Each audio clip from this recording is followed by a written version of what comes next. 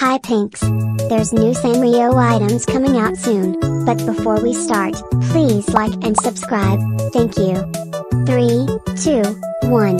So, it's been a minute since Hello Kitty has released some new items, but some new items have been discovered.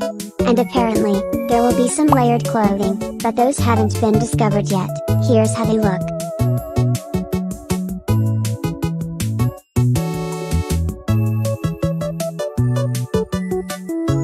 Whoa, those look so cool.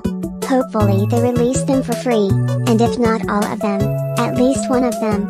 Hello Kitty Cafe never disappoints when it comes to accessories honestly, so I am very excited. Do you like the items? Let me know in the comments and I'll see you in the next one.